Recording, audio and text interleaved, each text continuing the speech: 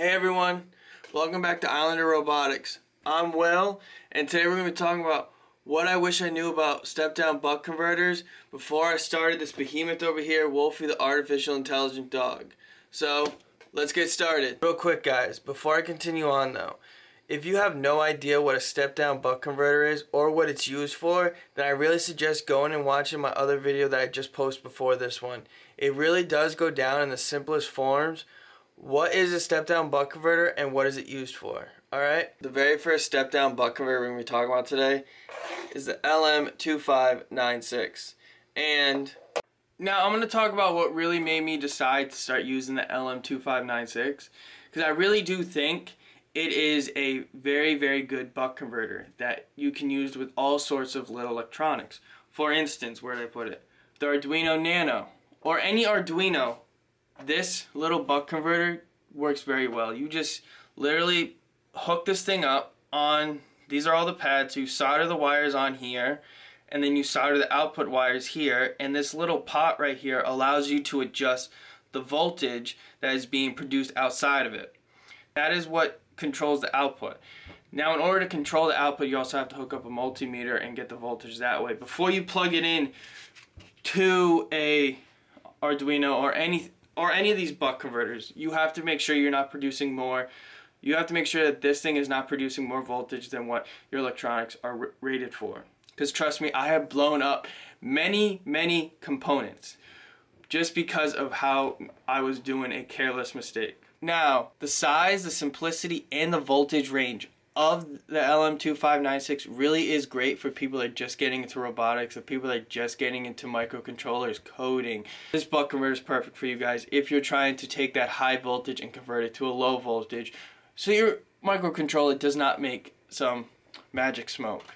The LM2596 is not for everyone. It is not for every application. Yes, like I said, small robots, beginners. You're not going to really hit the limits of this buck converter. Unless you start working with computers like a Raspberry Pi or the Jetson Nano like what's in Wolfy you're gonna find the limitations of this buck converter very very maddening. And the main limitation of this buck converter is the amperage the output amperage it produces. It is 3 amps.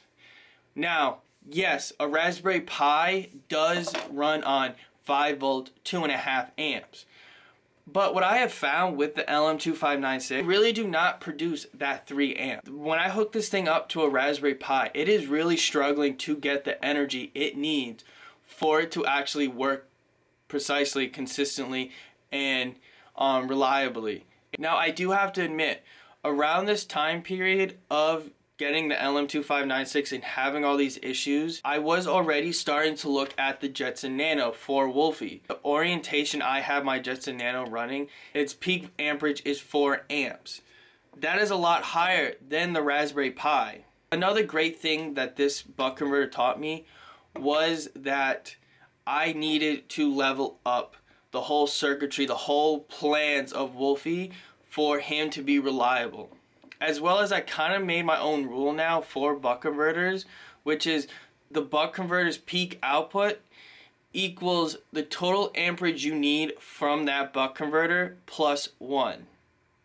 Now I say plus one just because like those of you who have watched my videos have noticed I keep on saying give yourself a little wiggle room and buck converters really do need that wiggle room when you're working on anything that's like Wolfy the amperage isn't always going to be consistent. When I say the peak amperage of the one leg is 3 amps, that does not mean that that leg is always at 3 amps. It is leveling usually, it's leveling like 1.25 all the way up to 3 amps.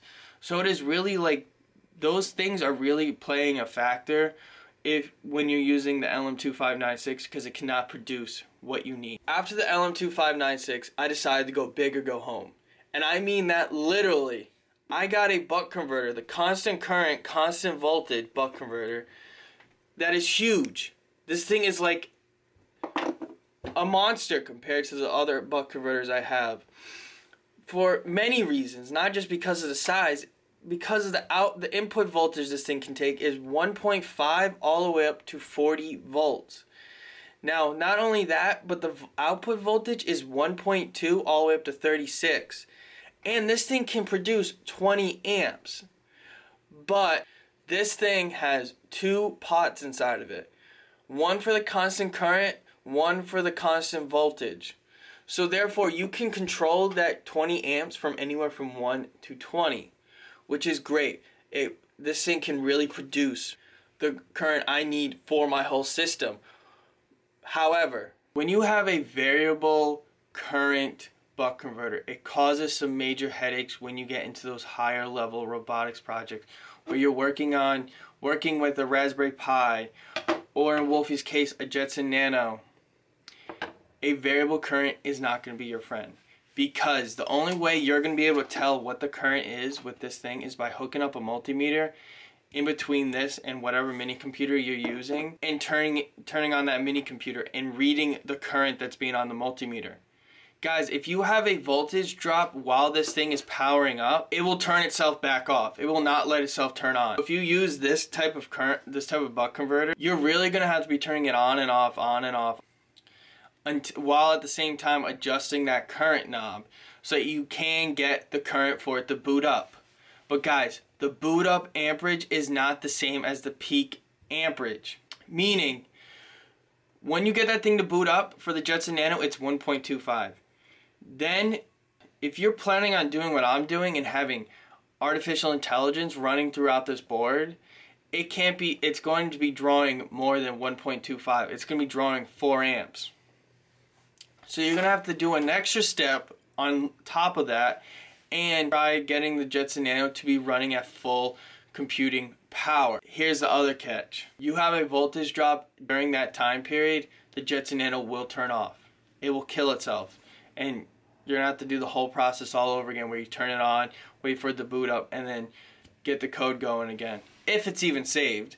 Because when you're doing this on and off, on and off, with a computer like the Jetson Nano or the Raspberry Pi, you have a very high risk of damaging your SD card. You have a high risk of damaging the OS as well as the code you work so hard on is going to essentially get lost if it does kill itself too many times and it just the SD card just loses all that memory. It is not worth it when you can get buck converters that are more specific to the amperage like XY3606. More on that in a sec. I just really want to finish off what I'm trying to say about the constant current, constant voltage buck converter. It really is a great buck converter when you have when you're not risking damaging all your hard work by having the code get deleted because you're on constantly turning that current on and off, on and off. It really is not reliable enough to be using it with those computers. I cannot stress that enough because you are risking damaging your hard work on those computers. But it really is great for heavy duty stuff where you don't where you have an idea of what the current's going to be, but you're not fully sure. So you should get a buck converter like this with a variable current. And once you do know what that current is, get a buck converter like this all right, the XY3606. Now the XY3606 is great. I this thing is this is the main buck converter inside of Wolfy because of a few reasons.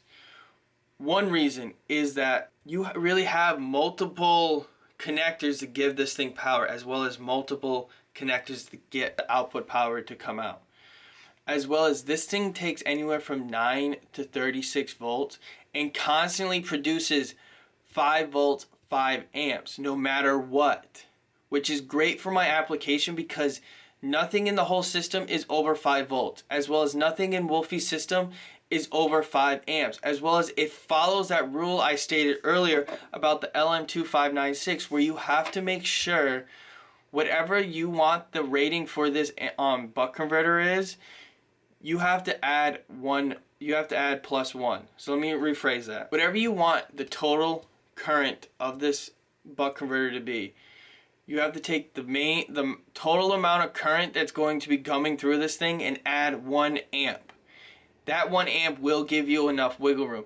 And in some cases, this thing is giving me two amps of wiggle room with the servos or 1 amp with the Jetson Nano and so the Jetson Nano is always able to be running there's no question for me to on if my system's going to fail if the Jetson Nano is going to suffer a voltage drop and turn itself off. It is made for these things because you have a screw terminal and a USB-A female connector on here which is perfect for your Raspberry Pi. It is perfect for your Jetson Nano.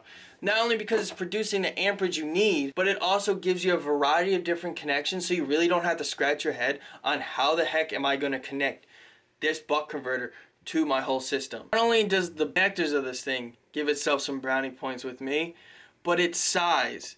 It is probably the same length of this one, but it is like half the width of this one. Alright, so I'm able to jam a lot more stuff into the buck converter bay, the power distribution bay. That makes Wolfy work more smoothly. But it's not just all great about the XY3606. One thing I really do wish this board had was some screw, screw holes. Just because in order for me to implement this thing into Wolfy, I had to come up with some creative stuff which you guys will see in a later video. But this thing, it's like basically impossible for you to put this thing into your robot unless you make some kind of contraption to hold it into place. As well as there is no real labeling on these terminals on which one's positive and which one's negative.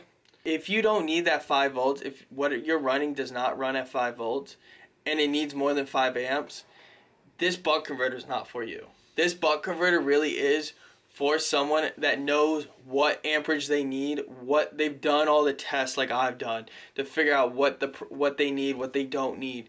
This buck converter is perfect for those of you who are just like looking for another option that's always reliable, always constant, no matter what, it's going to be popping out those numbers you need to be running your system.